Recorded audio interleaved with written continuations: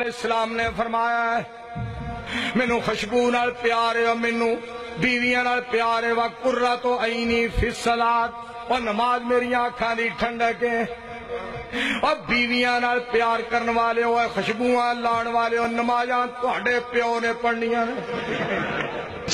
I am the one, the way your son don't need a gun to get respect up on